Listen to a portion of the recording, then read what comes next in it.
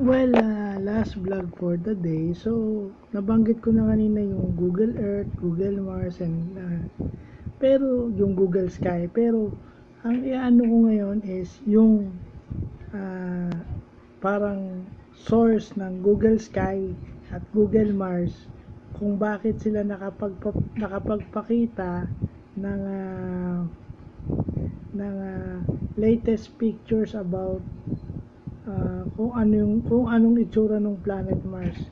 Uh, yung lalo na yung geology noon o yung land structure ng uh, planet Mars. Uh, ito yung uh, Mars Reconnaissance Orbiter. Okay?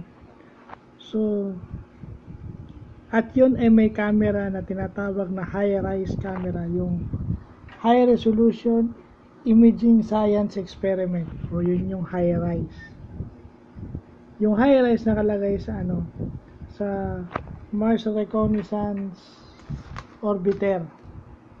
Okay? Kasi uh, recently lang itong mga 2005 2006 nagkaroon tayo napanood ko na to sa National Geographic so ngayon ko lang naalala. Yun yung reference ng Google yung mga pictures na pinadala nun. Uh, akala nga nila hindi makakarating sa Mars eh. so breakthrough na yun na naka nakapag-land naging successful yung aerobraking nun matagal-tagal yung yung aerobraking daw is yung pagpapabagal nung spacecraft upon entry dun sa atmosphere ng uh, planet Mars. Kasi pagka masyado mabilis yung entry wala eh. Baka pag bumulusok yun wala sabog. So pinabagal niya. Pero ano pa rin eh with, re, with respect to orbit pa rin nung ng planet Mars. So, yun yung kagandahan. Bukas na natin iano yung mga terms na yan. But, eh, ganun ka, sabi ko nga kahapon, ganun ka ano yung Google na kinukuha talaga nila yung pinaka the best source to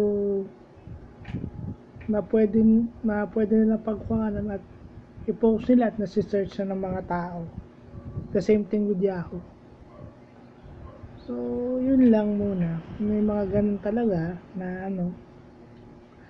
Siguro susunod natin Yahoo after ng Google products, Yahoo products naman tayo.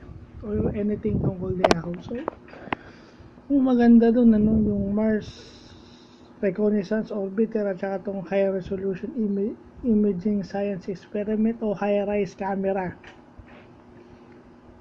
Kasi ano to, swerte hindi, ito na ano kasi, yung temperature sa Mars, paiba-iba ng temperature, it could damage an equipment.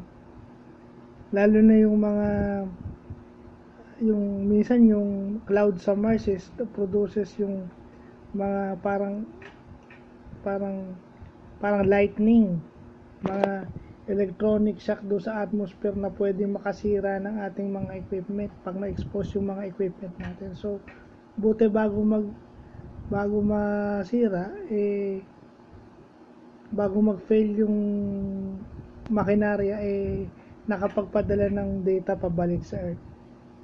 So yun yung uh, kudos na rin sa mga astronauts o do sa mga taga NASA for for doing that. So yun lang po.